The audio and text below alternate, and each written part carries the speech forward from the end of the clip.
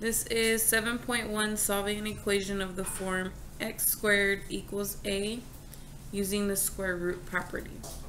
So the square root property tells us that if we were to take the square root on both sides of this equation, um, the square and the square root do undo each other and we do get the variable w by itself.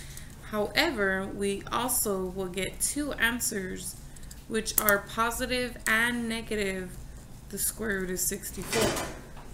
So the square root of 64 is 8, which means we have two solutions here, 8 and negative 8.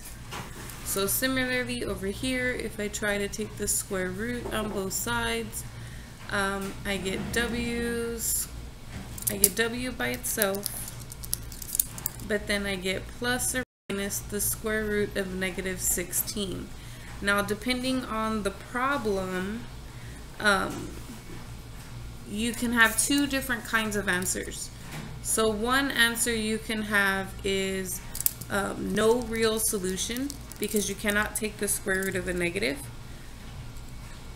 So you have no real solution. Or if they do allow you to enter in complex numbers, then you could say, taking this out as an i, you could say w equals plus or minus 4i, because the square root of 16 is 4 and the square root of negative 1 is i, giving you the two answers, 4i and negative 4i. So depending on the problem, if it asks you for the real solutions, there are no real solutions, okay?